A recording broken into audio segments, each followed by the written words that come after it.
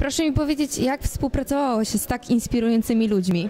Niełatwo, y, często odmawiali wypowiedzi, bo na przykład nie mieli czasu, ochoty albo byli zmęczeni, y, ale udawało się przekonać. Ale tak y, zupełnie serio, no to była dla mnie ogromna radość i nie mówię tak kurtuazyjnie czysto, tylko naprawdę ja szukałam sposobności, żeby z nimi porozmawiać, żeby ich nagrać, bo za każdym tym razem wychodziłam jak na skrzydłach, to była taka energia, takie doładowanie pozytywne i potem starczało na jakiś czas i trzeba było umawiać się znowu. Także wielka radość.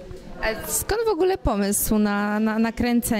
Co- spowodowało, że podjęła Pani taką decyzję?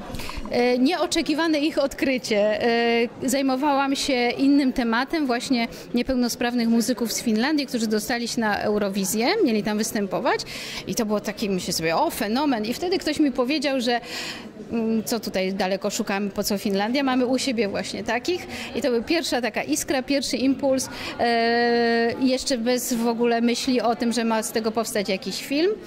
No ale powstał dzięki Robertowi, no on to zmontował. Nie, nie, no, wiesz, no. gdybyś nie przygotowała przez dwa lata materiału, bo Rania nie powiedziała, że dwa lata przygotowywała materiał filmowy do tego filmu.